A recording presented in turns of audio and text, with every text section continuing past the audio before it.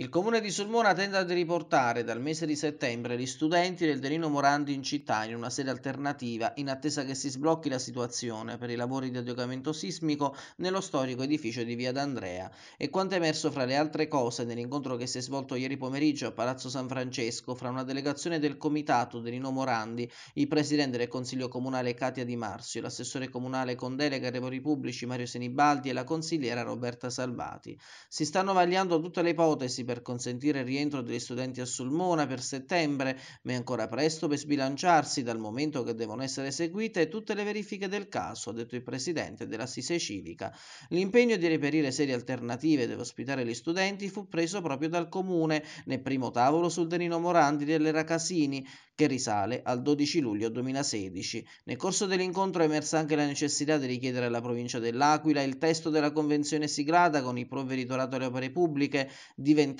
soggetto attuatore per l'esecuzione dei lavori al plesso scolastico dei ragionieri e geometri. L'intenzione degli amministratori, in piena sintonia con il comitato, è quella di richiedere un incontro con il provveditorato per percorrere la strada dello scorrimento della gradatoria che accorcerebbe di molto i tempi del rientro degli studenti a Sulmona. Il ponte fra comune e provveditorato si chiama in questo caso Regione Abruzzo.